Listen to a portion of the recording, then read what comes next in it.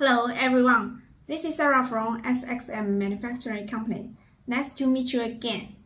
Today I will continue to introduce some main equipments used for uh, spherical roller bearings and uh, some related bearing models for your reference.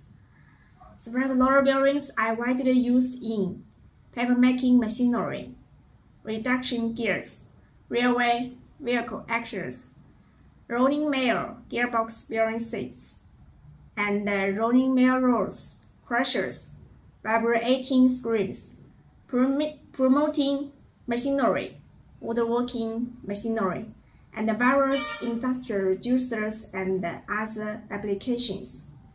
The main bearing models used in fan equipment are 22310 CA model, 22323 CA bearing model, and 22318 CA cage bearing model, spark door bearings.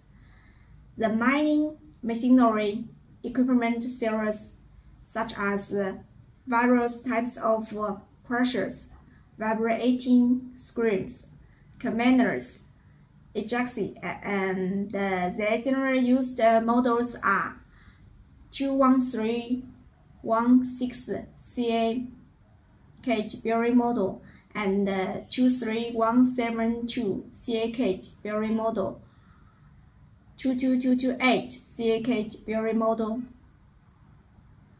and uh, some are MA cage spark door bearings. Uh, it's especially used for vibrating scream, screams.